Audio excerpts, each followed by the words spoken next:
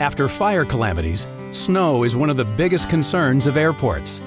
Snow causes delays for passengers, high cost and risks for airports. An aircraft must be capable to land during a snow event and must be able to park at the gate safely for passengers to continue their journey. At a major hub airport like Amsterdam Airport Schiphol, there is no place for snow. One centimeter of snowfall already means 20 cubic meters of fresh snow on this aircraft stand. Currently, two ramp hogs plow the snow away from the stand onto a pile. In order to tackle this challenge, SNOCOM proudly presents the Snowcuber Mark IV. The Snowcuber is an attachment and can plow, load, and compress the snow. The Snowcuber is a patented innovation built on the principle to compress snow. The greatest advantage of the Snowcuber is to minimize the amount of dump trucks.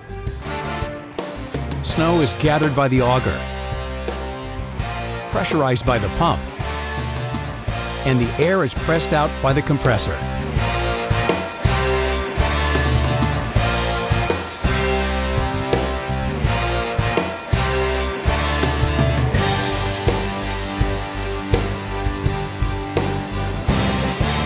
The Snowcuber is easy to operate.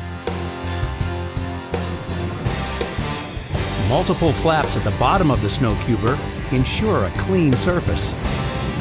Over 3,000 air holes press out air from the snow.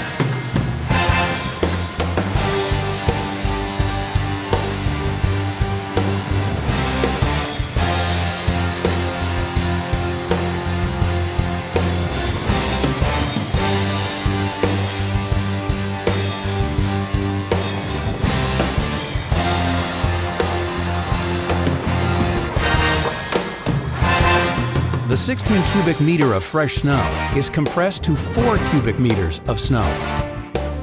For 100 cubic meter, you need one dump truck, and no snow sticks to the walls due to the controlled loading.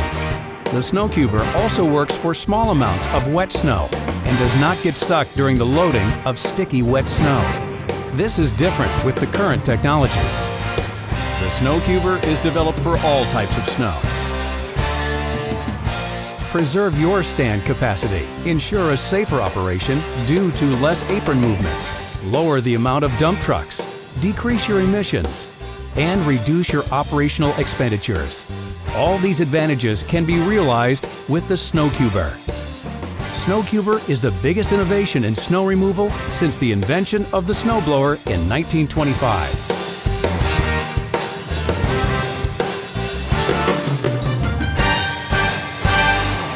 For more information, visit snocom.com.